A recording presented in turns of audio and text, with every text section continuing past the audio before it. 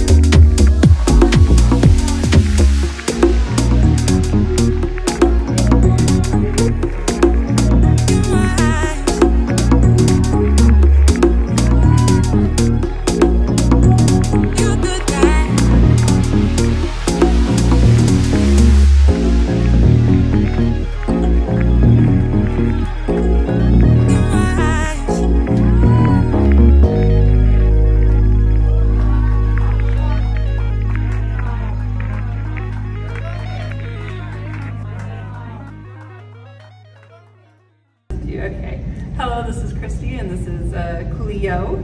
Um, you just finished, finished the 15-day board and train with Bulletproof Dog training, and we're very happy with the results, and she's doing wonderful. Um, very excited to bring her home and, and have her be a good trained puppy. Thank you. You guys bring her next.